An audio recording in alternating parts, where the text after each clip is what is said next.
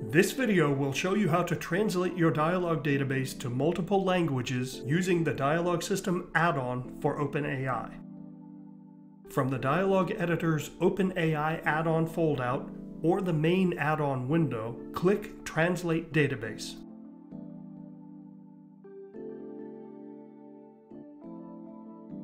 Assuming you've defined localization fields in your database, the Translate Database window will show those localization languages. If you need to add localization fields, use the Templates tab of the dialog editor.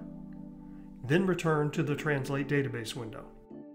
In this example, our database has fields for Spanish, French, and Chinese. In the Translate Database window, you can tick Retranslate All to translate all fields for a language. If the checkbox is unticked, the add-on will skip fields that already contain text. To speed up the operation for this video, we'll only have it translate French for now. Then click Translate. This is a lengthy operation, so the add-on will ask if you're sure you want to proceed.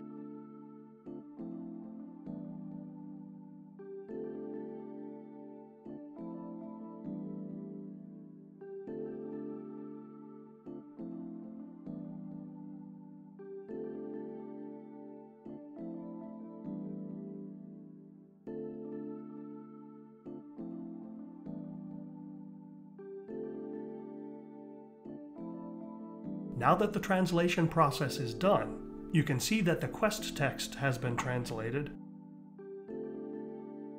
and the dialog text has been translated as well.